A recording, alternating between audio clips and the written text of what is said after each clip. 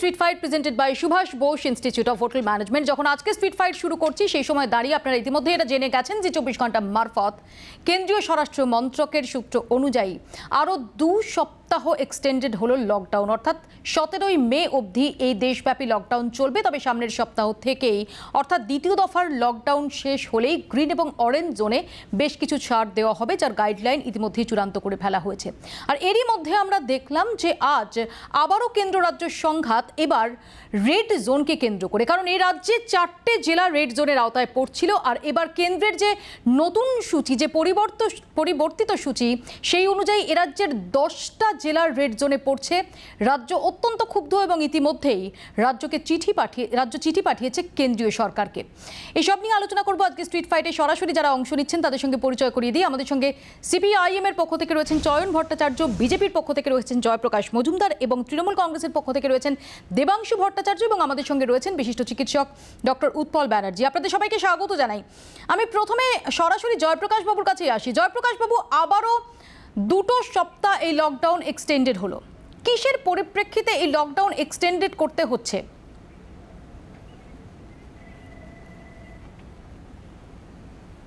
না, আমি জানি না, কারণ কেন্দ্রীয় সরকার সব রকম বিচার করে তারপর লকডাউন বাড়াচ্ছেন।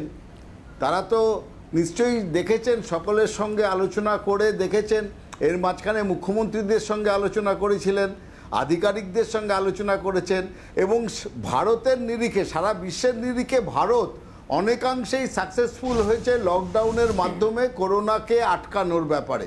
সুতরাং তারা নিশ্চয়ই মনে করেছে এটা যুক্তিযুক্ত ব্যাপার তাই দু সপ্তাহ বাড়িয়েছেন। তাই জন্যই হ্যাঁ কিন্তু জয়প্রকাশ লকডাউন বাবু বাড়ানো ভারতের মতো হয়েছে একটা দেশে যখন আমরা দেখতে পাচ্ছি যে ইতিমধ্যেই হয়েছে? আইএলওর যে প্রেডিকশন সেটা একেবারেই আশাব্যঞ্জক নয় যে এখন দাঁড়িয়ে একটা প্রশ্ন উঠছে যে লকডাউন আরও দীর্ঘায়িত হলে একটা বড় প্রশ্ন উঠে আসছে যে বেশি মানুষের জীবন সংশয় কিসে হবে? ভাইরাসের কারণে হবে নাকি অনাহারের কারণে হবে নাকি গরিবের কারণে হবে? এই জায়গাটাকেও তো ভাবতে হবে। না আপনারা কি মনে করছেন দেশের যারা চালাচ্ছেন আমাদের প্রধানমন্ত্রী নরেন্দ্র মোদী ভাবছেন না? আর এটা মানে আপনাদেরই বা কি কথা? আমরা যে কিছু মনে লকডাউন করছি না তার মানে কি বন্ধ করে দিতে দ্বিতীয়ত হবে? হচ্ছে definitely সেখানে না লকডাউনের কি কি সুফল পাওয়া গেছে জয়প্রকাশ বাবু? মানে সেটা জি চব্বিশ ঘন্টায় বিস্তারিত আমরা দেখিয়ে আসছি। অঙ্ক দিয়ে দেখিয়ে মৌপিয়া, মৌপিয়া, আপ- আমি আমি আপনাকে বলছি আমার আরে শুনুন আমার কথাটা। এটা তো হতে পারে না যে আপনারা প্রশ্ন করতে পারেন লকডাউন কেন?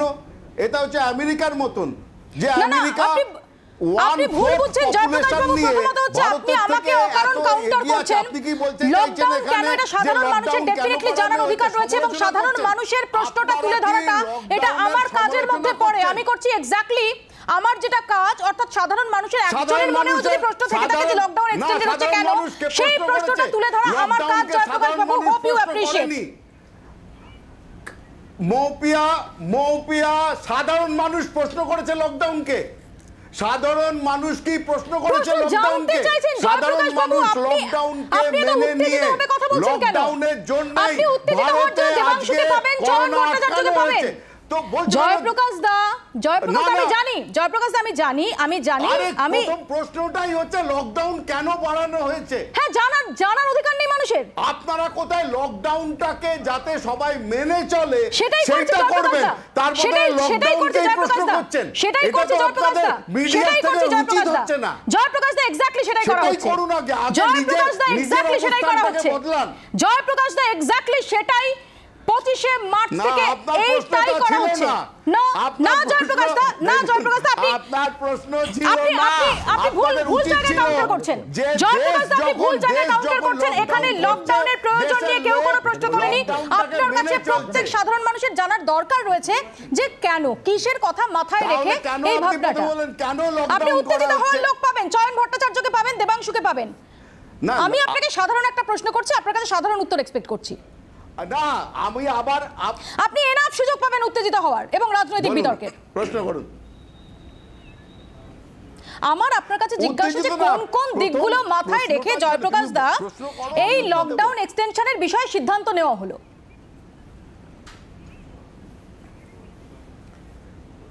সেটা সেটার জন্যে কেন্দ্র এবং সমস্ত রাজ্যের সঙ্গে আলোচনা করে যারা সমস্ত এই ব্যাপারে মাথা ঘামাচ্ছে তারা ঠিক করেছেন। এবং এই ব্যাপারে যদি আমাদের মতন লোকরা টিভিতে গিয়ে বক্তব্য রাখতে যায়, তাহলে সেটা মিসলিডিং হবে। যারা ঠিক করবার দায়িত্ব নিয়ে করছেন, তারা সমস্ত দিক বিবেচনা করে ভারতের মতন বৃহত্তর, বৃহৎ একটা দেশের জন্যে আরও দু সপ্তাহ লকডাউন বাড়ানোর সিদ্ধান্ত নিয়েছেন এবং আপা মোর জনতা গত দেড় মাস ধরে নরেন্দ্র মোদীর নেতৃত্বে ভারতের এই করোনার বিরুদ্ধে লড়াইয়ে সবাই সঙ্গ দিয়েছেন এবং এই লকডাউনেও তারা এগিয়ে এসে ভারতকে বাঁচানোর এবং সাধারণ মানুষ এই লকডাউনটাকে অনুসরণ করছেন। ডেফিনেটলি কিছু কিছু ব্যতিক্রম আছে কিন্তু বড় অংশের মানুষ তারা এই লকডাউনটায় সম্পূর্ণভাবে কোঅপারেট করছেন। আমি দেবাংশুর কাছে আসব যে কারণ ইভেন মুখ্যমন্ত্রী মমতা বন্দ্যোপাধ্যায় তিনিও বলেছেন যে একুশে মে অবধি লকডাউনের পক্ষপাতী রাজ্য। দেবাংশু দেবাংশু সতেরোই মে অবধি লকডাউন এক্সটেন্ডেড হচ্ছে। তোমাদের প্রতিক্রিয়া? দেখুন প্রথমে একটা কথা বলি আমাদের প্রতিক্রিয়া আমাদের স্ট্যান্ড একদম স্পষ্ট। এই মুহূর্তে দাঁড়িয়ে করোনা মোকাবিলা করার জন্য কেন্দ্রীয় সরকার এবং রাজ্য সরকার তারা যা যা ভালো মনে করে আমাদের প্রত্যেকের দায়িত্ব সেটাকে পালন করে চলে এবং আমরা সেটাকে পালন করব। আমাদের রাজ্য সরকারও কেন্দ্রের যাবতীয় নির্দেশ প্রথম থেকে পালন করেছে এখনও সেটা আমরা পালন করব। সেই নিয়ে কোনো সংশয় নেই কারণ এই লড়াইটা প্রত্যেক ভারতবাসীকে বাঁচানোর লড়াই। গরিব থেকে বড় লোক ফর্সা থেকে কালো হিন্দু থেকে মুসলমান কাউকে দেখেই রোগটা আসে না। সুতরাং লড়াইটা প্রত্যেককে একসাথে লড়তে হবে কারণ এই রোগ কারোর বাজ বিচার করে না। কিন্তু প্রশ্নের জায়গাটা অন্য লকডাউন বাড়বে কি কমবে সেটা তো মমতা বন্দ্যোপাধ্যায় প্রধানমন্ত্রীর সাথে বৈঠক করেছিলেন আরও মুখ্যমন্ত্রীরা বৈঠক করেছিলেন সেখান থেকে প্রধানমন্ত্রী সম্ভবত কিছু ইঙ্গিত দিয়েছিলেন কি দেননি প্রশ্নটা সেই জায়গায় নয়। এই মুহূর্তে দাঁড়িয়ে প্রশ্নটা হচ্ছে আমাদের রাজ্যের রেড জোনের ওপরে কেন্দ্র আরও কিছু রেড জোন চাপিয়ে দিচ্ছে এবং সেগুলোরও যুক্তি নেই কোনো। মানে সেই প্রসঙ্গে আসব দেবাংশু আলোচনায় সে প্রসঙ্গে আসব। আমি যেহেতু এই মুহূর্তে ডেভেলপমেন্ট জাস্ট ঘণ্টা দুয়েক আগের যে ব্রেকটা যে লকডাউন এক্সটেন্ডেড হয়েছে আমরা এই পর্যায়ে এই আলোচনায় থাকছি। আসব জয়প্রকাশ দা আপনার কাছে আমি চয়ন ভট্টাচার্যের কাছে যাব। চয়ন দা আসব প্লিজ মানুষের চয়ন দা। সুযোগ সুবিধাটা ভেবে সমস্তটা করেন। বলুন। চয়ন দা সেভেন্টিন্থ মে অবধি লকডাউন এক্সটেন্ডেড হচ্ছে। আপনার কি বক্তব্য?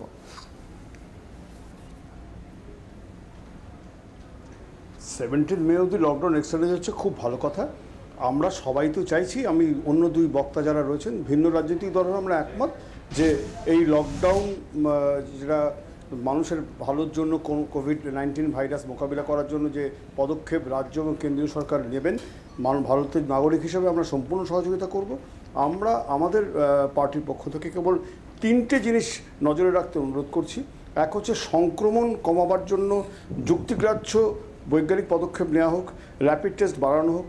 এক দুই, সেটা হচ্ছে যে স্টেপটা আপনারা বলছেন যে আপনার হেডলাইনে দেখলাম যে পরিযায়ী শ্রমিকদের জন্য ট্রেনের ব্যবস্থা করা হচ্ছে, খুব ভালো কথা কিন্তু শ্রমিকরা এবং কর্মহীন মানুষদের বাঁচাবার জন্য পর্যাপ্ত রেশনের ব্যবস্থা করা হোক বিনামূল্যে, এবং তিন, যেটা খুব জরুরি, সেটা হচ্ছে যে পারস্পরিক সহযোগিতার মাধ্যমে সমাধান সূত্র খোঁজার চেষ্টা হোক, এবং পারস্পরিক সহযোগিতার মাধ্যমে যাতে অধিকাংশ মানুষের সংক্রমণ কমানো যায়, তার জন্য যা পদক্ষেপ নেওয়া হোক এর মধ্যে এটা নিয়ে রাজনৈতিক তরজা হলে সাধারণ মানুষের দৃষ্টি অন্যদিকে ঘুরে যাবে।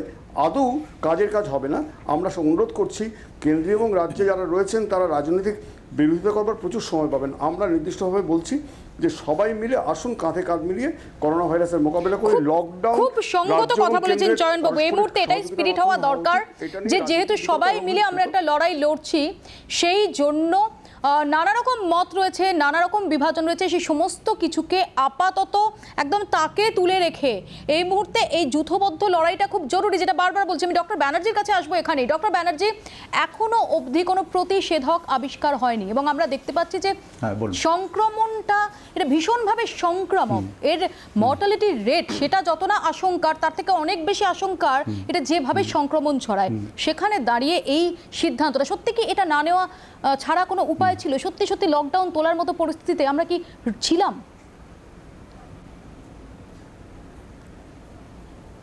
দেখুন আমরা প্রথমেই একটা কথা বলি যে আমরা একটা বিরাট বিপদের মধ্যে আছি। হ্যালো বিরাট একটা বিপদের মধ্যে আমরা চলছি। এবং আপনারা দেখবেন যে আমাদের ভারতবর্ষেও যেরকম প্রত্যেক দিন কেসের সংখ্যা বাড়ছে এবং আমাদের রাজ্যেও কেসের সংখ্যা বাড়ছে। এবং চিকিৎসক হিসেবে আমাদের আশঙ্কা এবং আমাদের যেটা ভয়, আমাদের যে বিপদ, একটা তো ধরুন সমাজের রোগ কোন মাত্রায় ছড়াবে, কতটা ছড়াবে আমরা এখনও পর্যন্ত জানি না। এবং ভারতবর্ষের মধ্যে চিকিৎসক এবং স্বাস্থ্যকর্মী সবচেয়ে বেশি আক্রান্ত হয়েছেন আমাদের রাজ্যেই। তো এই সমস্ত বিষয়টাকে এবং আমরা দুজন সহকর্মীকে হারিয়েছি পর্যন্ত, তো এই সমস্ত বিষয়টাকে মাথায় রেখে যদি আমরা এটা ভাবি, যে দেখুন লকডাউন বেসিক্যালি এটা একটা প্রশাসনিক সিদ্ধান্ত। সেটা কেন্দ্রীয় সরকার নিন, রাজ্য সরকারগুলির সঙ্গে আলোচনা করে যেভাবে যা নেওয়ার সেটা নিন। এবং এই প্রশাসনিক সিদ্ধান্ত নেওয়ার সময় তারা নিশ্চয়ই বিভিন্ন রকমের পেশাদার যারা আছেন প্রফেশনালসদের ইনপুট নিয়েছেন। সেই ইনপুট নিয়ে এটা সিদ্ধান্ত নিয়েছেন লকডাউন বাড়ানোর ব্যাপারে সিদ্ধান্ত নিয়েছেন। যদি তারা মনে করেন যে সত্যি লকডাউন বাড়ালে ডিজিজটাকে কন্টেনমেন্ট করার পক্ষে লাভ হবে, নিশ্চয়ই আমরা তার পক্ষে যাব। আমরা সমস্ত মানুষকে আবেদন করব যে আপনারা এর পক্ষে থাকুন। এবং এটা নিয়ে নিশ্চয়ই আমরা কখনোই চাইব না যে এটা নিয়ে কোনো রকম তর্জা হোক, কোনো রকম বিভ্রান্তি হোক, এটা আমরা কখনোই চাইব না। বরঞ্চ আমরা চাইব যে শুধু লকডাউন নয় লকডাউনের সঙ্গে সঙ্গে এই যে যে কথাটা আপনি বলছিলেন যে এটা রেড জোন না অরেঞ্জ জোন না গ্রিন জোন এই জিনিসটাকে যদি আমাকে খুব পরিষ্কার করে বলতে হয় তাহলে আমার হাতে হাতে যে অস্ত্রটা আছে সেই অস্ত্রটার যেন আমি প্রয়োগ করি যেন আমি প্রচুর টেস্ট করি টেস্ট টেস্ট এক্স্যাক্টলি আমি ঠিক এই জায়গাটাতেই জয়প্রকাশদার কাছে আসব। জয়প্রকাশদা এই বিষয়ে সংশয়ের কোনো অবকাশ নেই যে এই মুহূর্তে এক ধাক্কায় লকডাউন তুলে নেওয়াটা সেটা আত্মহত্যার সামিল হবে। এ বিষয়ে কোনো দ্বিমতের কোনো অবকাশ নেই। কিন্তু একই সঙ্গে জয়প্রকাশ দা যে প্রসঙ্গটা উঠছে যে যেমন লকডাউন এক্সটেন্ড লকডাউন তো অ্যাকচুয়ালি হচ্ছে বাইং টাইম সেই যে সময়টা আমরা কিনছি এবং ডেফিনেটলি অনেক কিছুর বিনিময়ে আমরা কিনছি, সেই সময়টাকে যাতে সম্পূর্ণভাবে ইউটিলাইজ করা যায়, তার রোড ম্যাপটাও কি রেডি থাকছে?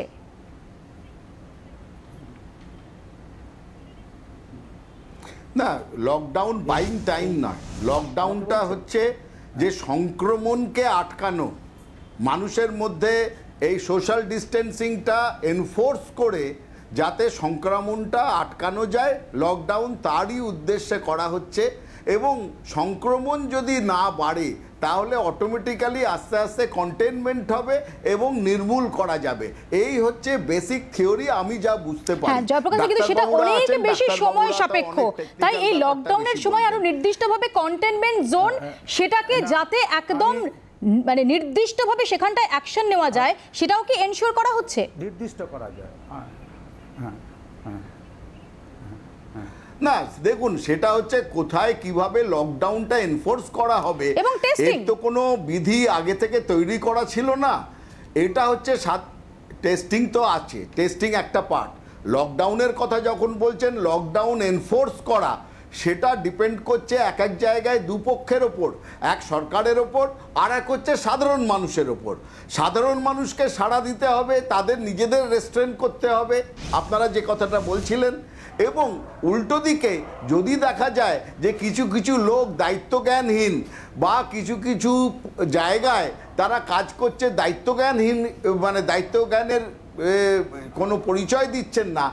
সেখানটাতে এনফোর্স করতে হবে লকডাউনটাকে অন্য মানুষের স্বার্থে। একেবারে আমি এই প্রসঙ্গে হাত তুলছেন। ডক্টর ব্যানার্জি হাত তুলছেন। আমি খুব সংক্ষেপে ডক্টর ব্যানার্জির বক্তব্য নিয়ে নেব। ডক্টর ব্যানার্জি। না না জয়প্রকাশবাবু সুবক্তা এবং উনি ভা- ভালো বাগ্মী। আমি ওনার আমি যেটা উনি যেটা কিন্তু উনি যেটা বলছেন যে লকডাউনটাই ডিজিজ কন্ট্রোলের একমাত্র উপায়। এইটা কখনোই নয়। লকডাউন হচ্ছে যেটা বরঞ্চ, মতিয়া, আপনি যেটা বললেন লকডাউন অনেকটাই হচ্ছে টাইম বাই করার পদ্ধতি। না হলে আমি অনন্তকাল লকডাউন করে সমস্ত মানুষের যে বেঁচে থাকা তার ইকোনমিক্যাল অ্যাক্টিভিটি সবগুলোকে বন্ধ রাখতে পারি না, সব কাজকর্মকে। তো আমি এই সময়টাকে কীভাবে ব্যবহার করছি, এটার উপরেই নির্ভর করছে আমি ডিজিজ কন্ট্রোলটা করতে পারব কি না আমার ভবিষ্যৎটা কোথায় যাচ্ছে। এই জন্যই আমি বারবার বলছি, এই জোন ভাগ করার আগে আমাদের হাতে সেই তথ্য দরকার যে কোন জেলায় কি অবস্থা আছে। তা আমরা আমি জানি না যে আমাদের জে- জেলা ওয়ারি এরকম কোনো তথ্য নিশ্চয়ই প্রশাসনের কাছে আছে। আমি এই প্রসঙ্গে আসব ডক্টর ব্যানার্জি কারণ আজকে কেন্দ্রীয় স্বাস্থ্য মন্ত্রকের যুগ্ম সচিব লব আগরওয়াল তিনিও ব্যাখ্যা দিয়েছেন যে কি কারণে এই যে রিভাইজ যে তালিকাটা বেরিয়েছে রেড অরেঞ্জ এবং গ্রিন জোনের কেন কিসের ওপর ভিত্তি করে কোন কোন ক্রাইটেরিয়া কোন কোন শর্তের উপর ভিত্তি করে সেটা নির্ধারিত হয়েছে? একটা ছোট্ট বিরতির পর আপনাদের দেখাবো। দেখতে থাকুন স্ট্রিট ফাইট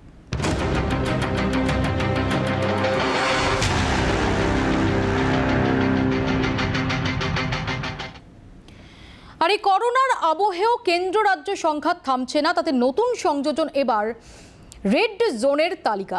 চার থেকে বেড়ে দশ, এক ধাক্কায় এই রাজ্যে রেড জোনের আওতায় থাকা জেলার সংখ্যা দশে পৌঁছে গেছে।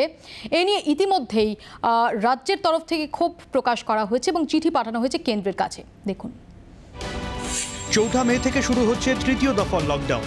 নিয়মকানুন কোথায় কতটা শিথিল হবে, সেটা নির্ভর করছে কোন জেলা সবুজ, কোন জেলা কমলা বা লাল তার উপর তার আগে দেশের সমস্ত জেলার রং নতুন করে ঠিক করে দিল কেন্দ্রীয় স্বাস্থ্য মন্ত্রক সেই মতো চৌঠা মে থেকে করোনা সংক্রমণের নিরিখে বাংলার দশটি জেলা রেড জোনে, অরেঞ্জ জোনে পাঁচটি জেলা, আটটি জেলা থাকছে গ্রিন জোনে।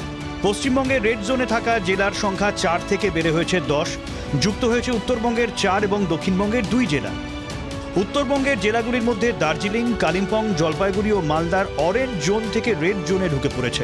দক্ষিণবঙ্গে কলকাতা, হাওড়া, উত্তর চব্বিশ পরগনা ও পূর্ব মেদিনীপুর আগের মতোই লালের গিরোয় নতুন সংযোজন দক্ষিণ চব্বিশ পরগনা ও পশ্চিম মেদিনীপুর যে দুই জেলা আগে থেকে অরেঞ্জ জোনে ছিল। অরেঞ্জ জোনে থাকা জেলার সংখ্যা এগারো থেকে কমে হয়েছে পাঁচ। তালিকায় মুর্শিদাবাদ, নদিয়া, হুগলি ও দুই বর্ধমান। এই জেলাগুলি আগের তালিকাতেও অরেঞ্জ জোনেই ছিল। গ্রিন জোনে থাকা জেলা আগের মতোই আট বাঁকুড়া বীরভূম পুরুলিয়া ঝাড়গ্রাম ও দুই দিনাজপুর কোচবিহার আলিপুরদুয়ার এই জেলাগুলি আগের তালিকাতেও গ্রিন জোনেই ছিল टोटल इंसिडेंस ऑफ केसेस वहां पर कितनी है उसके साथ ही वहां पर डबलिंग रेट कैसा है केसेस का साथ ही वहां पर टेस्टिंग किस लेवल पर हो रही है वहां पर हमारी सेंट्रल आर जो गई हैं होम मिनिस्ट्री की आरआरटी जो गई हैं, जिसमें कि हमारे हेल्थ के प्रोफेशनल्स हैं, उनका फीडबैक क्या है? आज अगर वहाँ पर थोड़े से कम केसेस है but this is a critical area कि कल को वहाँ पर प्रॉब्लम ऐसी ना हो जाए कि अंडर करंट के रूप में वहाँ पर केसेस इतने हो कि वह जिला उसे मैनेज ना कर सके। तो इन सारे कंसिडरेशन को लेते हुए हमने ऑरेंज और रेड जोन को डिफाइन किया है। জেলাগুলির মধ্যে যেখানে সংক্রমণ বেশি, সেখানে কন্টেনমেন্ট জোন ও চারপাশে বাফার জোনে নজরদারি চালিয়ে যাওয়ার কথা মনে করিয়ে দিয়েছে কেন্দ্র। বলা হয়েছে, যেসব এলাকা কন্টেনমেন্ট জোনে সেখানে চিকিৎসা এবং অত্যাবশ্যকীয় পণ্য ছাড়া অন্য কিছুই চলাচল করতে পারবে না। শারীরিক পরীক্ষা ছাড়াই এলাকায় ঢোকাও চলবে না। কেন্দ্রের নির্দেশিকা বলছে গ্রিন জোন ঘোষণায় শূন্য সংক্রমণের সময়সীমা আঠাশ থেকে কমে একুশ দিন। সাত দিন অন্তর রেড অরেঞ্জ গ্রিন জোনের তালিকা পর্যালোচনা করা হবে। রাজ্য চাইলেই কোনো জেলা রেড বা অরেঞ্জ জোনে যোগ করতে পারবে। কিন্তু কোনো জেলাকে রেড বা অরেঞ্জ জোন থেকে বাদ দিতে পারবে না। তবে নির্দিষ্ট পুরো এলাকা বা গ্রামীণ এলাকাকে রেড বা অরেঞ্জ জোনের বাইরে আনা যাবে। জেলাগুলিকে পুরসভা ও গ্রামীণ এলাকা এই দুই ভাগে ভাগ করে জোন তৈরি করা যাবে। একুশ দিনের সংক্রমণ না ঘটলে রাজ্য সেই এলাকাকে রেড থেকে অরেঞ্জ অরেঞ্জ থেকে গ্রিন জোন ঘোষণা করতে পারবে। কেন্দ্রের দেওয়া তালিকা অনুযায়ী সারা দেশের সাতশো তেত্রিশটি জেলার মধ্যে রেড জোনে থাকা জেলার সংখ্যা চল্লিশটি কমেছে। উদ্বেগ বাড়িয়ে গ্রিন জোনে থাকা জেলার সংখ্যাও সাঁত্রিশ কমেছে, বেড়েছে অরেঞ্জ জোনের বিস্তার। সবচেয়ে বেশি উত্তরপ্রদেশের উনিশটি জেলা এবং সমগ্র দিল্লি রেড জোনে গ্রিন জোনে রয়েছে নটি রাজ্য কেন্দ্রশাসিত অঞ্চলের সব এলাকা। ব্যুরো রিপোর্ট, জি চব্বিশ ঘণ্টা। ইতিমধ্যে ক্ষুব্ধ রাজ্য চিঠি পাঠিয়েছে কেন্দ্রকে। আমি সেই চিঠি দেখতে দেখতে দেবাংশুর কাছে চলে যাব। দেবাংশু, আপত্তির জায়গা কোথায়? একদম নির্দিষ্টভাবে লাভ আগরওয়াল বলছেন যে যে ক্রাইটেরিয়া ছিল, আগে ছিল কিউমুলেটিভ নাম্বার এবং doubling red red zone green zone orange zone এটা নির্ধারণের ক্ষেত্রে। সেখানে আরও বেশ কিছু ক্রাইটেরিয়া যুক্ত হয়েছে এবং অবশ্যই কেন্দ্রীয় দল তাদের ফিডব্যাক আপত্তিটা কোথায়? আপত্তিটা কোথায়?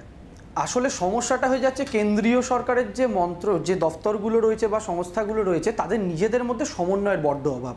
কি অভাব? কেন এটা সমস্যা বলি আপনাকে? যেমন কালিম্পং থেকে লাস্ট কেস এসেছিল দোসরা এপ্রিল। জলপাইগুড়ি থেকে শেষ কেস এসছে আপনার চৌঠা এপ্রিল, তারপরে কোনো কেস আসেনি। মালদা, মুর্শিদাবাদ, পূর্ব বর্ধমান, এগুলো থেকে দুটো করে কেস আছে প্রত্যেকটা জেলা থেকে। এগুলোকে হঠাৎ করে রেড জোনে ঢুকিয়ে দেওয়ার মানে কি? আমরা একই প্রশ্ন করেছিলাম কেন্দ্রীয় সরকার যখন স্পেশাল টিম পাঠায় পশ্চিমবঙ্গে আমরা বলেছিলাম তারা দুটো জেলাকে চুজ করেছিল এই আপনার কালিম্পং জলপাইগুড়ি। এই কালিম্পং জলপাইগুড়ি নিয়ে মাত্র একদিন দেড় দিন আগের সাংবাদিক সম্মেলনে কেন্দ্রীয় সরকার বলেছিল এগুলো খুব সেফ জায়গায় রয়েছে এগুলোর অবস্থা খুব ভালো। এবং ঠিক তার পরের দিন সাংবাদিক সম্মেলন করে বলে আমাদের যে স্পেশাল টিম যাচ্ছে ওইগুলোতেও যাবে কারণ ওগুলোর অবস্থা খুব খারাপ। আমি একটা সাধারণ মানুষ হিসেবে একদম সাধারণ একটা প্রশ্ন করি। যে একটা একটা খুব চলতি কথা আছে যে অধিকন্তু ন দোষায় বিশেষ করে আমরা এখন যে সময়ের মধ্যে দিয়ে যাচ্ছি, যে কোনো বিষয়ে অতি সতর্কতা, সেটা বরং ভালো কম সতর্কতা, অর্থাৎ উদাসীনতার থেকে। সেখানে দাঁড়িয়ে আমি ধরে নিলাম যে ঠিক আছে আরও অতিরিক্ত ছটা জেলায় আরও কিছুটা কড়াকড়ি বেশি করা হবে। টেকনিক্যালি গ্রিন হোক রেড হোক অরেঞ্জ হোক, যাই তার নাম হোক না কেন, তাতে প্রবলেমটা কোথায়? তাহলে আপনি গোটা ভারতবর্ষকে রেড জোন কেন করে দিচ্ছেন না? তাহলে গোটাই মানে আপনি যে কথাটা বলছেন সেই যুক্তিটা যদি আমি মেনেও নিই তাহলে গোটা ভারতবর্ষকে রেড জোন করা উচিত। কারণ আমরা তো জানি না গ্রিন জোনে ওনাই যে আন্ডার কারেন্টের কথা বলছেন আপনার যুক্তি যদি হয় সেটা হচ্ছে না। গ্রিন কিন্তু ব্যাপারটা অন্য তো জায়গাতে পার্মানেন্ট গ্রিন জোন বলেও তো কিছু নেই দেবাংশু। যদি কালকে কালকে যদি কোনো ঘটনা ঘটে তাহলে আবারও সেই জায়গাটাকে ফিরিয়ে তার গ্রিন জোনের তকমা চলে যাবে। মপিয়াদি সমস্যাটা সেখানে নয়। সমস্যাটা হচ্ছে বারবার রাজ্য সরকার যে কাজ করছে সেটাকে ঘোড়া ডিঙিয়ে ঘাস খাওয়ার মতো কাজ করছে কেন্দ্রীয় সরকার। এটা হয়ে যাচ্ছে সমস্যা রাজ্যের মানুষ নিয়ে রাজ্য সরকার চিন্তিত। এই রাজ্য সরকারকে এই রাজ্যের মানুষ নির্বাচিত করেছে রাজ্য সরকারের দায়িত্ববোধ রয়েছে। কেন্দ্রীয় সরকার রাজ্যের সাথে আলোচনা কেন করছে না? আসল সমস্যাটা মৌপিয়া আছে। মৌপিয়া আসল সমস্যাটা অন্য জায়গায়। আমাদের রাজ্য এই করোনার সংখ্যা তত্ত্বে মনে করেছিল যদি অল্প সংখ্যা দেখানো যায় তাহলে বোধহয় আমরা জিতছি। বাংলা জিতলো, সেটা সারা ভারতে প্রমাণ হয়ে যাবে, প্রচার হয়ে যাবে যে বাংলা জিতেছে। তাই জন্য প্রথম থেকে আক্রান্তের সংখ্যা কমিয়ে দেখানো, মৃত্যুর সংখ্যা কমিয়ে দেখানো, এ এক অদ্ভুত ছেলে মানুষই খেলায় এই রাজ্য সরকার মেতেছিলেন এবং গতকাল পর্যন্ত আমরা দেখেছি যে প্রথমে বললেন অডিট কমিটি তারপরে গতকাল শুনলাম সেটা অডিট কমিটি নয় সেটা এক্সপার্ট কমিটি তারপরে ডাক্তার কমিটি কোনটা কি আমরা জানি না। আমি আসব জয়প্রকাশ বাবু দেবাংশু হাত তুলে রয়েছে। ছোট্ট একটা বিরতি আমি তার আগে নিচ্ছি প্লিজ আমি আসব একটা ছোট্ট বিরতির পর ফিরছি দেখতে থাকুন স্ট্রিট ফাইট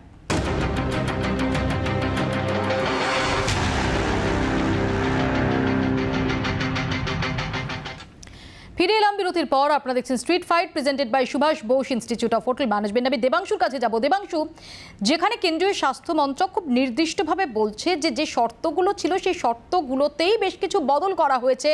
আরও সেটাকে নির্দিষ্ট করা হয়েছে। সেখানে অর্থাৎ যথেষ্ট কনভিনসিং কি লাগছে না ব্যাখ্যাটা?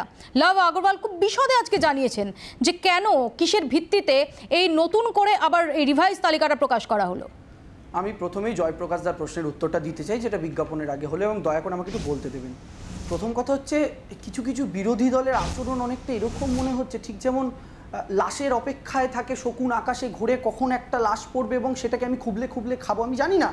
জয়প্রকাশ দাদের কি খুব আনন্দ হবে বাংলায় যদি। মৃত্যুর সংখ্যা খুব এইসব বেড়ে এখানে বাংলার চলবে না। মানুষের বিরোধীরা লাশ খুঁজছে না। লাশ? লোকানো বন্ধ করছে না। আমি করতে পারি না। আমাকে বলতে দিন না, না, না, না, আমাকে বলতে দিন কি? লাশ বাংলার মানুষ মরবে আপনারা খুশি হবেন বলে বলতে দাও না। বাংলার মানুষ মরবে আপনারা খুশি হবেন লাশ নাকি বাংলার মানুষ লাশ মরলে লোকানোর আপনারা বলতে পারবেন গুজরাটের চাইতে বাংলাদেশের সংখ্যা বেশি আপনারা একটা তৃতীয় কথা বলছো। দা? লাশ 105 জন মারা আপনার গেছে। সময় বলিনি। কোমরবিড বলে তাদের লোকানো সময় হচ্ছে বলিনি, আমায় বলতে দিন। আজকে পোড়াতে দেওয়া হচ্ছে না। আমায় বলতে দিন। কবর দিতে দেওয়া আপনার হচ্ছে সময় না। বলিনি আমায় বলে দিন সেখানে বলছো বিরোধীরা আমার আপনার সময় বলিনি বলতে দিন আপনাকে সময় বলিনি আপনার সময় বলিনি এটা এক্সটেম্প হচ্ছে না সামলাতে। এটা এক্সটেম্প হচ্ছে না আমায় বলতে দিন আপনি আমারটা না, তার মানে আমি তোমাদের তোমাকে কিছু বলে বলিনি তুমি বলেছ বিরোধীরা লাশ লাশের খোঁজে শকুনের মতন। বলতে দেবেন? এর থেকে খারাপ কথা হয় না। এবার বলতে দেবেন? আমরা সব সময় বলতে দেবেন আমার সমর্থন করছি। আমার সময়তে বিরোধীরা শকুনের আমার- মতন কি হচ্ছে এটা? এটা কি কি হচ্ছে? আমার আমার সময়টা বলতে দেবেন তো। দেবাংশু এসব তুমি না আছো দেবাংশু। দেবাংশু? হয় না, আমি দেবাংশু সময় না। বলিনি। না কিন্তু দেবাংশু দেবাংশু আমাকে বলতে দিন, আমাকে- দেবাংশু আমাকে বলতে একই সঙ্গে বিরোধীরা যে অভিযোগটা করছে সত্যি সত্যি কোথাও এই ল্যাক অফ ট্রান্সপারেন্সির অভিযোগটা যে বিরোধীরা আচ্ছা, করছে আদৌ কি তথ্য নিয়ে কোনো রকম কোনো সংশয়ের জায়গা সেটা তৈরির অবকাশ ছিল? না না এখনও তৈরির কোনো মানে কেন চর্চাটা চলছে কেন এই সংখ্যা নিয়ে? না না না দায়টা কার? এটাই তো আমাদের দুর্ভাগ্য যে চর্চাটা চলছে কেন? না চর্চাটা চলছে কেন সেটা দায় কাদের? চর্চাটা চলছে কেন সেটা দায়িত্ব জয়প্রকাশ মজুমদার জয়প্রকাশ দাদের। কেন? আজকে অডিট কমিটি নিয়ে এত কথা বলা হচ্ছে। অডিট কমিটি ফর্ম করেছে উত্তরপ্রদেশ অডিট কমিটি ফর্ম করেছে মহারাষ্ট্র অডিট কমিটি ফর্ম করেছে দিল্লি অডিট কমিটি ফর্ম করেছে পাঞ্জাব উত্তরপ্রদেশ তো জয়প্রকাশ রাজত্ব। Audit মৃত্যুর জন্য audit না না মৃত্যুর জন্য অডিট কমিটি আমি আপনাকে। আমি চ্যালেঞ্জ করছি জয়প্রকাশ বাবু মৃত্যুর জন্য। আমাকে audit আমারটা committee কমপ্লিট করতে দিন না। আরে আপনার সময় আপনি বলবেন। আপনার সময় আপনি বল- কোমরবিডের জন্য দুরকম ডেটা শুধু শুধু এই রাজ্যে। আপনার সময় আপনি বলতে পারবেন না আপনাকে মুভিয়া দি সময় দেবে। জয়প্রকাশ দা আসব আমারটা জয়প্রকাশ দা আসব। মুভিয়া আমি বলতে পারলাম না জয়প্রকাশ দা? আমি দেবাংশু খুব নির্দিষ্ট প্রশ্ন করেছিলাম। নির্দিষ্ট প্রশ্ন করেছিলাম যে এই দিতে কোথায় অসুবিধা রয়েছে? এই যে রেড অরেঞ্জ এবং গ্রিন এই তিনটে জোন সেটা কেন রিভাইজ করা হলো? তার যে ব্যাখ্যাটা লব আগরওয়াল দিয়েছেন কেন্দ্রীয় স্বাস্থ্য মন্ত্রক দিয়েছে তার কোন জায়গাটায় আপত্তি রয়েছে? আমাকে আগে যে প্রশ্নটা করা হলো সেটা উত্তর দিতে হবে। এখন পজিটিভ নিয়ে যে বিভিন্ন রাজ্যে আক্রান্তের সংখ্যা যে দমিয়ে দেওয়ার চেষ্টা হচ্ছে যেটা আপনি মাত্র বললেন যে এটা কি কনফিউশন সৃষ্টি হচ্ছে না? দিদি কেন্দ্রীয় সরকার যদি মৃত মানুষ হচ্ছে? এই রাজ্যে তো বিরোধীরা অভিযোগ না, না, না, না, না, মহা মুশকিল। এই রাজ্যে যদি বিরোধীরা সেই কনস্ট্রাকটিভ রোল প্লে না করে তাহলে সেটা আমাদের দায় নয় মৌবিয়াদি এটা সেই রাজ্যের বিরোধীদের দায়িত্ব নিতে হবে কারণ এ রাজ্য সরকার অ্যাক্টিভ কেসের সংখ্যা দিচ্ছে কেন্দ্রীয় সরকার অ্যাক্টিভ কেস মৃত মানুষদের সংখ্যা এবং তার সাথে সুস্থ মানুষদের সংখ্যাটাও টোটাল পজিটিভ কেস দিচ্ছে আমরা সুস্থ মানুষের সংখ্যাটা আলাদা করে দেখাচ্ছি মানুষ যেন মানসিক শক্তি নিয়ে লড়াই করতে পারে যে হ্যাঁ আজ মৌপিয়া। অব্দি রাজ্যে একশো চল্লিশ জন করে মানুষ সুস্থ হয়ে। কাছে যাই এই জিনিসটা এই জিনিসটা হচ্ছে পশ্চিমবঙ্গে। এই আজকে দাঁড়িয়ে যে এই রাজ্য কেন্দ্র সংঘাতের একটা নতুন প্রসঙ্গের অবতারণা আমরা দেখতে পেলাম যে এই রেড জোনের সংখ্যা ছয় থেকে, অর্থাৎ জেলার সংখ্যা ছয় থেকে দশ হয়ে গেল। চার থেকে, মাফ করবেন, চার থেকে দশ হয়ে গেল। আপনার এই সম্পর্কে কি বক্তব্য? দেখুন, এখানে এক মৌপে সুস্পষ্টভাবে বলা দরকার, যে ধরনের বিতর্ক তৈরি হলো সেটা অনভিপ্রেত। শাসক দল, বিরোধী দলকে ঠিক কী চোখে দেখে সেটা দেবাংশুর কথাতে বোঝা করে অত্যন্ত দুর্ভাগ্যজনক। একজন তরুণ রাজনীতিবিদের মুখে এই লাশ গোনা শব্দটা অন্তত এই সময় বেমানান আমরা নির্দিষ্টভাবে যেটা বলেছি, সেটা হচ্ছে যে ট্রান্সপারেন্সির তথ্য নিয়ে আমরা প্রশ্ন তুলেছি। ঠিক কথা, প্রশ্ন তুলেছি। তার জন্য দায়ী কে? এক একবার এক এক রকম সংখ্যা দেওয়া হয়েছে। মৃতের সংখ্যা তো এক একবার এক এক রকম সংখ্যা তো আমরা দিন দিয়েছেন রাজ্য সরকার। মুখ্যমন্ত্রী অডিট কমিটির দায় এখানে, একমাত্র এখানেই অগ্রাহ্য করেছেন। আমরা দুটো সরকারকেই বলছি, তারা নিজেদের দায়িত্ব সঠিকভাবে পালন করছে না। কেন্দ্রীয় সরকার যেমন অর্থনৈতিক দায়িত্ব সঠিকভাবে পালন করছেন না, যারা বিপন্ন মানুষ তাদের প্রতি, তেমনি রাজ্য সরকারও তথ্যের কিছু বিভ্রান্তি তৈরি করে ফেলছেন নিজেদের ভুলে যেটা যদি আমরা দৃষ্টি আকর্ষণ করছি, তাকে লাশ গোনা বলে অভিহিত করা হচ্ছে এটা দুর্ভাগ্যজনক। তিন, যেটা আরও মারাত্মক, সেটা প্রথমে ডাক্তারবাবু বলেছেন, সেটা হচ্ছে এখানে চিকিৎসকরাও নিরাপদ নন সংক্রমণ থেকে। সমস্ত হাসপাতালগুলো কন্টামিনেশনের জায়গা হয়ে গেছে। আজকে আমার কাছে মৌপিয়া খবর আছে যে একজন রোগী, প্রয়োজন হলে আমি আপনাদের ক্রু মেম্বারকে তার নাম দিয়ে দিতে পারব। পিআরএস হাসপাতালে তার সংক্রমণ ঘটেছে এক মাস ভর্তি থাকবার পরে। আমাদের একজন কাউন্সিলর মারা গেছেন পিজি হাসপাতাল এসএসকেএম হাসপাতালে। তার সংক্রমণ ঘটেছে হাসপাতাল থেকে। এই ধরনের অভিযোগগুলো পরিবার থেকে এসেছে। আমরা তো নির্দিষ্টভাবে বলছি যে হাসপাতালগুলোকে নিরাপদ করুন, চিকিৎসকদের নিরাপদ করুন, যাতে মানুষ সুস্থভাবে চিকিৎসা পায়। আমরা তো বলছি সম্পূর্ণ সহযোগিতা তো আমরা করছি। একেবারে আমি আসব।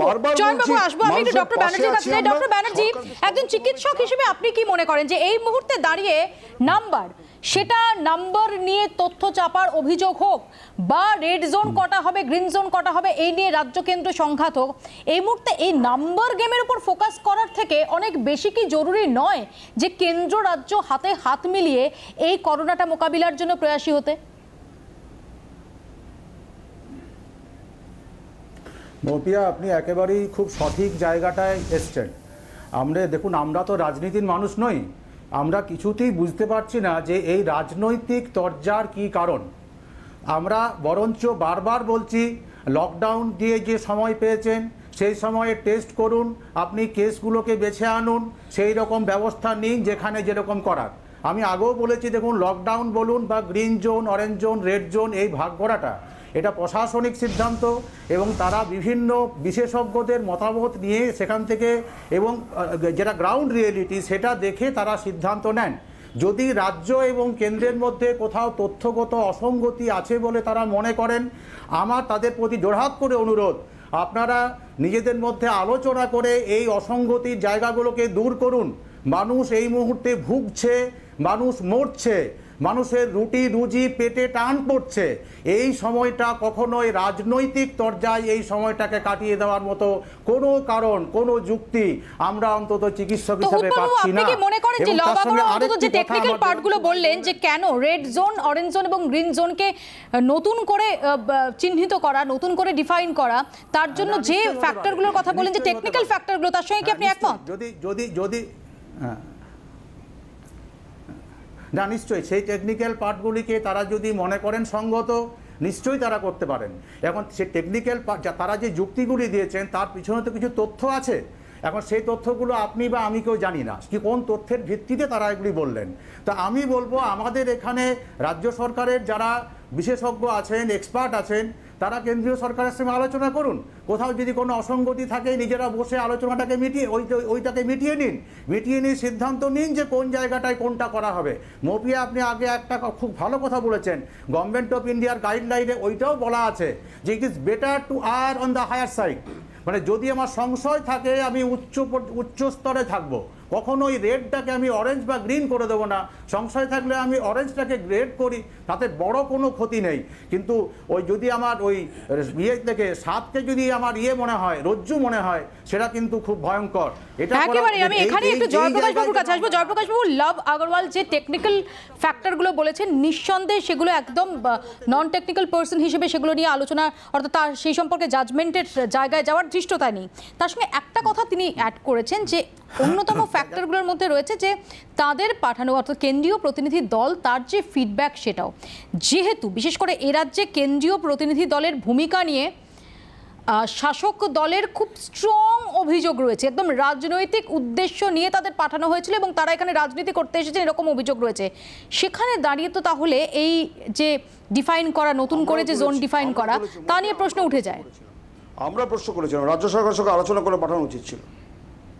হ্যাঁ বারবার একদিকে কথা হচ্ছে যে বারবার কথা হচ্ছে সবাই সবাই মিলে একসঙ্গে মানে কোঅপারেট করে কাজ করার কথা। আপনারাই বলছেন অন্য অন্য বিরোধী দল অন্য দল বলছে যে কেন্দ্র এবং রাজ্য একসঙ্গে কোঅপারেট করবে করে কাজ করবে। কেন্দ্র সেখানে পর্যবেক্ষক দল পাঠিয়েছে উচ্চ ক্ষমতা সম্পন্ন। এবং সেটা আইন মেনেই পাঠানো হয়েছে। আর এই রাজ্য সরকার তাদেরকে সহযোগিতার বদলে তাকে আটকানোর চেষ্টা। উল্টো দিকে হ্যাঁ দেখতে পাচ্ছি মালদার বলছেন মতো যে মারা কেন রেড জোন করা হলো? দেবাংশু একটু আগে সেই প্রশ্ন তুলছিল। সব সময় আরে সংখ্যা তত্ত্ব এই সংখ্যা। আপনার কাছেই বা সেইখানকার সংখ্যা আপনি পাচ্ছেন কোথায়? সরকারের রাজ্য সরকারের সংখ্যার উপর ডিপেন্ড করা যাচ্ছে না বিশ্বাস করা যাচ্ছে না। রাজ্য সরকারের যে সংখ্যা যে সংখ্যা নিয়েও কি বেশি obsession হয়ে যাচ্ছে? আমি তো আমি তো একটা খুব সহজ জায়গা বুঝছি না। এটা কি কোনো ক্রিকেট ম্যাচ চলছে? যে কত রান হচ্ছে বা কোনো না সেই সেই অভিযোগ মানে আমি- তোমাদের বিরুদ্ধেও বিরোধীরা তুলছেন। না, না, দেবাংশু সেই অভিযোগ তোমাদের বিরুদ্ধেও তুলছেন বিরোধীরা। তো- নাম্বার আচ্ছা। নিয়ে কেন কেন এরকম এই নাম্বার গেমের প্রতি এত এত ইম্পর্টেন্ট কজন মারা গেছে? কেন? গতকাল পর্যন্ত করোনায় কজন মারা গেছে দেবাংশু বলুক। আমার দুটো পয়েন্ট ভীষণ স্পষ্ট। প্রথম পয়েন্ট হচ্ছে আমি কেন্দ্রীয় সরকারকে চ্যালেঞ্জ করছি এখান কজন মারা গেছে? বলুন না দেবাংশু শুধু এই তত্ত্ব। আমি কেন্দ্রীয় সরকারকে একটা বিষয় চ্যালেঞ্জ করছি। ওনারা বলছেন রাজ্যের থেকে ওনাদের আক্রান্তের সংখ্যা বেশি তো।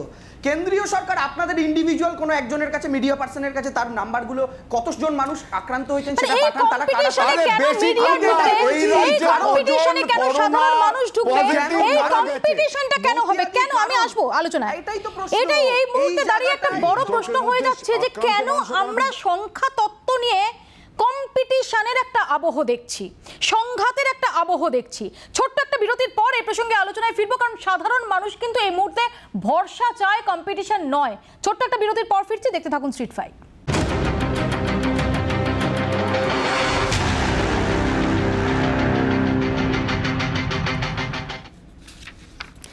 ফিরে এলাম বিরতির পর, আপনারা দেখছেন স্ট্রিট ফাইট আমি এখানে একটু চয়নবাবুর কাছে যাব। চয়নবাবু, কেন কোথাও কি দাঁড়িয়ে আমরা একটা যেখানে দাঁড়িয়ে সম্মিলিত লড়াইয়ের কথা যেটা বারবার আমরা বলছি, সেখানে দাঁড়িয়ে কোথাও কি আমরা একটু রাজনৈতিক সংঘাত, একটু নাম্বার নিয়ে প্রতিদ্বন্দ্বিতা, সেটা বেশি দেখছি?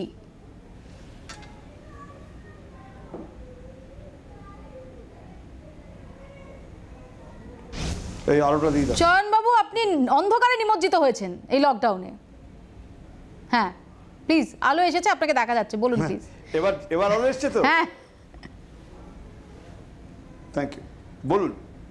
হ্যাঁ চয়নবাবু এই যেটা এই মুহূর্তে আমরা দেখতে পাচ্ছি এটা একটা সংঘাতের আবহ একটা রাজনৈতিক দ্বন্দ্বের আবহ। এটা কোথাও কি এই মুহূর্তে অনভিপ্রেত নয়? অনভিপ্রেত তো অবশ্যই অবশ্যই অনভিপ্রেত কাঁধে কাঁধ মিলিয়ে কাজ করার জায়গা তো হ্যাঁ, আমরা রয়েছে মাথায় দেখুন রাখতে হবে চয়নবাবু আমরা যে পয়েন্টগুলো যে চয়নবাবু আপনারা যেটা বলেছিলেন যে কেন্দ্র কেন্দ্রের রাজ্যের, সঙ্গে কথা বলা উচিত ছিল। সেখানে দাঁড়িয়ে এই রেড জোন নির্ধারণের ব্যাপারে আজকে কেন্দ্র যেটা বলেছে যে কোনো রাজ্য সরকার যদি চায় তারা কোনো জায়গায় অতিরিক্ত কড়াকড়ি করতে পারে। কিন্তু কোনো জায়গাকে সমাজ নিজেরা করতে পারে না। তিনি সবচেয়ে ভালো বলতে পারবেন।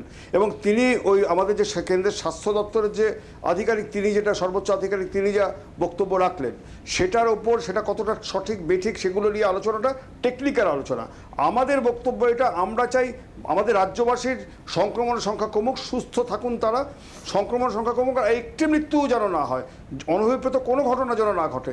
আমরা বারবার এটা চাইছি। রাজনৈতিক চর্চা অনেক সময় পাওয়া যাবে। অনেক সময় পাওয়া যাবে। মানুষ বাঁচলে তবে তো রাজনীতি। কার নিয়ে কাকে নিয়ে রাজনীতি করব? কাকে নিয়ে রাজনীতি করব? আমি দেবাংশুর কাছে আসব। দেবাংশু তরজা দেবাংশু এটা একটা এটা একটা বিশ্বব্যাপী প্যান্ডেমিক এখানে দাঁড়িয়ে আমরা দেখতে পাচ্ছি তথাকথিত উন্নত যে দেশগুলো তারা অব্দি হিমশিম খাচ্ছে। সেই অবস্থায় দাঁড়িয়ে এখানে কিন্তু কোনো এই সংক্রমণের জন্য কোনো প্রধানমন্ত্রী, কোনো মুখ্যমন্ত্রী, কোনো রাজনৈতিক দলকে কেউ সরাসরি দায়ী করছে না। বরং তাদের কাছে ভরসা চাইছে। সেখানে দাঁড়িয়ে আদৌ কি প্রয়োজন রয়েছে যে এখানের কত মৃত্যু, এখানে কত আক্রান্ত, কেন্দ্রের কত আক্রান্ত, এখানের এই নাম্বার, ওখানের এই নাম্বার, এই আদৌ এই তরজাটার কোনো প্রয়োজন রয়েছে? এই প্রসঙ্গটা অবতারণার কোনো অবকাশ ছিল? এক, তরজা কে করছে? রাজ্য সরকার? না, বিরোধীরা। দুই রাজ্য সরকারের তরফ থেকে একটা সংখ্যা দেওয়া হচ্ছে, কেন্দ্রীয় সরকার তার নিজের মতো সংখ্যা দিচ্ছে। আমার প্রশ্ন, কেন্দ্রীয় সরকারের আলাদা কোন অর্গ্যানস রয়েছে যেখান থেকে কেন্দ্রীয় সরকার রাজ্যকে টপকে গিয়ে এই সংখ্যাগুলো পাচ্ছে? দুই। তৃতীয় আমার যে বক্তব্যটা, দেখুন, যেটা চয়নদা বললেন, আমি একদম একশো শতাংশ সমর্থন করি। এই মুহূর্তে দাঁড়িয়ে কেউ চায় না একজনও মানুষ মারা যাক। কিন্তু আমার প্রশ্ন রাজ্য সরকার কাজ করছে মমতা বন্দ্যোপাধ্যায় দিন রাত এক করে কাজ করছেন তিনি নিজে অসুস্থ হয়েও কাজ করছেন। সমস্যার জায়গাটা কোথায় জানেন তো? সোশ্যাল মিডিয়া জুড়ে মিথ্যা প্রচার স্বয়ং মন্ত্রী Babul Supriyo fake news share করছেন। বিজেপির অফিসিয়াল পেজ থেকে ভাড়াটে একজন নাট্যকর্মীকে দিয়ে নাটক করিয়ে দেখানো হচ্ছে রাজ্যের লোক রেশন পাচ্ছেন না। এভাবে রাজ্যের মানুষের মধ্যে একটা অস্থিরতা তৈরি করার চেষ্টা চলছে। তার উপরে সোশ্যাল মিডিয়া জুড়ে এখানে এ মারা গেলেন ওখানেও মারা গেলেন বলে এখানে মিথ্যা নিউজ ছড়ানো হচ্ছে এটা করে যেটা হচ্ছে এই মুহূর্তে এই মুহূর্তে রাজ্যের মানুষকে আক্রান্ত মানে মানে আশঙ্কিত না করে জয়প্রকাশ বাবুদের উচিত রাজ্য সরকারের সাথে হাতে হাত মিলিয়ে কাজ করা। কারণ রাজ্য সরকার কেন্দ্রের সাথে হাত হাতে হাত মিলিয়ে কাজ করছে। এবং রাজ্য সরকার লড়াই করছে করোনার আমরা তো সাথে। দেখেছিলাম সেই ছবিটা। আসব দেবাংশু। সেই ছবিটা তো আমাদের ভরসা জুগিয়েছিল ইনিশিয়াল স্টেজে যখন আমরা দেখেছিলাম আপনি সায়ন্তন আপনারা মুখ্যমন্ত্রীটাকে সর্বদল বৈঠকে গিয়েছিলেন এবং আপনাদের মতামত দিয়েছেন মুখ্যমন্ত্রী শুনেছেন সেই ছবিটা কিন্তু আমাদের ভরসা জুগিয়েছিল। এখানে দাঁড়িয়ে আমি অন্তত যে দর্শকরা এই মুহূর্তে জি চব্বিশ ঘণ্টার সামনে বসে রয়েছেন আমি অন্তত দায়িত্ব নিয়ে বলতে পারি যে তাদের মনেও এই ভরসাটা তৈরি হয়েছিল যখন আমরা দেখিয়েছিলাম। এখন তাদের মনে সেই ভরসার জায়গাটা কি থাকছে? এই দ্বন্দ্বের পর? শুন না, ভরসা, শুনুন, যদি আমরা সত্যি কথাটা তার কাছে নিয়ে যাই, তিনি সমালোচনা বলে রে রে করে ওঠেন। এরা সত্যি কথা মেনে নিতে পারেন না। আপনি বলুন তো, ভারতের অন্য কোন রাজ্যে এই কো মরভিড কথাটা মানুষ জানে? যে বলছে একশো জন মারা গেছে বাহাত্তর জন কোমরবিড কিন্তু সকলেই করোনা পজিটিভ সুতরাং সেটা আমরা বলব না। এটা হচ্ছে একটা জিনিস। কোথায় ভারতের অন্য কোন রাজ্যে চিকিৎসকদের কাছ থেকে ডেথ সার্টিফিকেট দেওয়ার ক্ষমতা কেড়ে নেওয়া হয়েছে। খুব সংক্ষেপে দেবাংশু, দেবাংশু, হয়নি। দেবাংশু। সেগুলো বললে উত্তর বলি কোনো চিকিৎসকের হাত থেকে ডেথ সার্টিফিকেট নেওয়ার ক্ষমতা কেড়ে নেওয়া হয়নি। জয়প্রকাশ বাবু মনে হয় ভুলে যাচ্ছেন যে যারা এক্সপার্ট কমিটিতে রয়েছেন তারাও ডাক্তারই রয়েছেন তারাও স্বাস্থ্য বিশেষজ্ঞরাই রয়েছেন। সেখানে কোনো রাজনীতিবিদ বসে নেই। সেখানে মমতা বন্দ্যোপাধ্যায় পার্থ চট্টোপাধ্যায় সুব্রত বক্সিরা বসে নেই। সেখানে ডাক্তারেরা রয়েছেন যারা এই ব্যাপারটা ভালো মতো বিচার করতে পারেন। এবং কোমরবিডিটি নিয়ে যেটা কথা বলছেন আমি যা- অনুরোধ করব জয়প্রকাশ বাবুকে দয়া করে। দয়া করে দয়া করে গাইডলাইনটা পড়ুন গাইডলাইন স্পষ্টভাবে বলছে রেসপিরেটরি প্রবলেম ছাড়া যদি কেউ মারা যান কোভিডের জন্য যে। কোভিডের জন্য যে সমস্যাগুলো- শেষে ডক্টর ব্যানার্জির কাছে আসব ডক্টর ব্যানার্জি আমার আপনার কাছে এটাই প্রশ্ন আমরা এখনও জানি না। সত্যি সত্যি এই রাজ্যে প্রত্যেকটা ক্ষেত্রে রাজ্যের শাসক দল বিরোধী দলের মধ্যে যে দ্বন্দ্বটা হচ্ছে এই নিয়ে অন্য রাজ্যের যে পরিস্থিতি আমরা জানি মহারাষ্ট্র গুজরাট দিল্লি সর্বত্র একটা ভয়াবহ চিত্র। সেখানে প্রত্যেক দিন এই নিয়ে তাদের স্ট্রিট ফাইট করতে হচ্ছে কিনা এটা অন্তত আমার জানা নেই। আমার এখানে খুব সংক্ষেপে আপনার কাছে প্রশ্ন। এটার থেকে কি এটার থেকে বেরিয়ে আমরা কি একদম এই মুহূর্তে চিকিৎসা সংক্রান্ত, স্বাস্থ্য পরিষেবা সংক্রান্ত যে বিষয়টা, সেটাতে একসঙ্গে ফোকাস করতে পারি না? একেবারেই আপনি ঠিক কথা বলেছেন মপিয়া আমি দেখলাম চয়নবাবু কিন্তু, চয়নবাবু যেভাবে বললেন, এইটাই এই মুহূর্তে খুব বেশি জরুরি যে অন্য সব কিছু ছেড়ে দিয়ে কাঁধে কাঁধ মিলিয়ে চলা।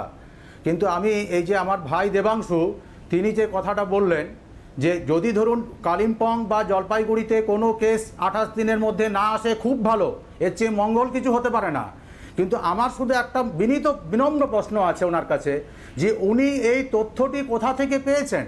আমরা যারা স্বাস্থ্য ব্যবস্থার সঙ্গে জড়িত, আমাদের কাছেও কোনো জেলাওয়ারি এরকম কোনো পরিসংখ্যান জানা নেই। এই প্রত্যেক দিন যে স্বাস্থ্য, যে আমাদের সরকার থেকে যে বুলেটিন প্রকাশ করা হয়, সেখানে জেলাওয়ারি কোনো পরিসংখ্যান দেওয়া হয় না। তো সেখানে উনি কি করে শিওর হলেন? কিন্তু যে কালিম্পং ওখানে এর কোনো কথাটা আমার যেহেতু সময় সংক্ষিপ্ত আমি প্রশ্নটা নিয়ে যেতে যেতে পারছি না। ডক্টর ব্যানার্জি আমি শুধু বলে রাখি তিন চার দিন আগেই কিন্তু লাভ আগরওয়াল তিনি যখন সাংবাদিক বৈঠক করছেন তখন কালিম্পং এর কথাটা তিনি স্পষ্ট করে বলেছিলেন এবং সেটা আমরা শুনেছিলাম।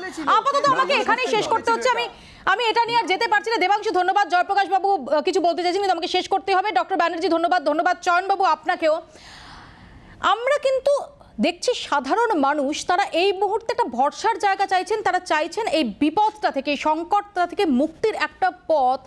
সংশ্লিষ্ট সমস্ত সরকার, কেন্দ্র, রাজ্য হাতে হাত মিলিয়ে দিক। কাজে যে কোনো ধরনের এই রাজনৈতিক সংঘাত, যে কোনো ধরনের নাম্বার নিয়ে, সেটা প্রতিদ্বন্দ্বিতা বললে প্রতিদ্বন্দ্বিতা, নাম্বার নিয়ে তরজা বললে তরজা, এই সমস্ত কিছু থেকে বেরিয়ে এই মুহূর্তটা হাতে হাত মিলিয়ে লড়াইয়ের সময়। আমরা অন্তত আশা করব যে সেই চিত্রটা আমরা দেখব। রাজনৈতিক লড়াইয়ে সময় অনেক আসবে। রাজনৈতিক বিতর্ক স্ট্রিট ফাইটে তারও অনেক সুযোগ থাকবে। আমরা এই সংকটটা থেকে মুক্ত হলে। আপাতত স্ট্রিট ফাইট এখানেই শেষ করছি। দেখতে থাকুন জি চব্বিশ ঘণ্টা।